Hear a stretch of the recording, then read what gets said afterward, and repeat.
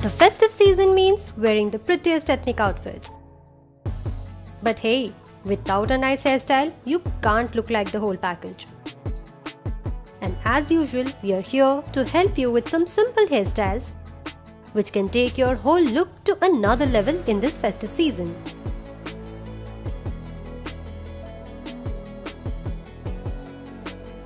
The traditional bun never goes out of style.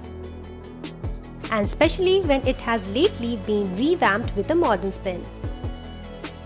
A gorgeous bun adds some extra edge to the ethnic look and is often the most sought after hairstyle in the festive season. For a fuss-free bun hairstyle, use a styling gel and hairspray to smoothen your hair or any flyaways. Or make a messy bun for a quirky look.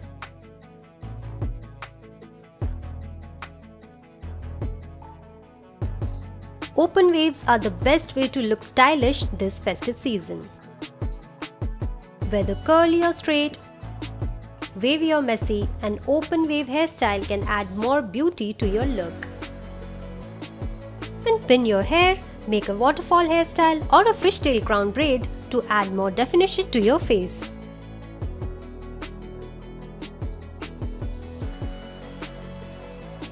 A low or high ponytail is a great way to accentuate your overall look. The best part is that it is very versatile and can go from day to night with ease. This hairstyle is also very easy to do on your own and can easily be redone if it gets messy. And here's a tip to not look boring. Wear a mang tikka to add some edge to your look.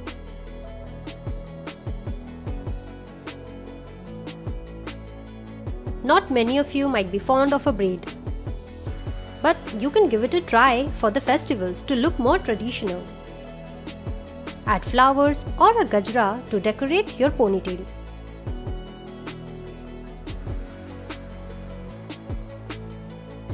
And those who just want to keep it easy can go for something simple and the most conventional of them all.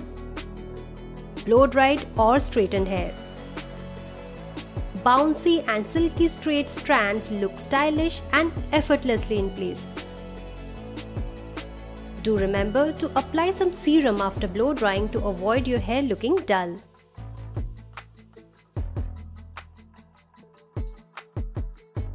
If you have short hair and are unsure how to style your hair, then you can add accessories to look fabulous. Ornamental hairbands or hair clips can definitely help you up your style game. Which hairstyle do you have in mind for this festive season?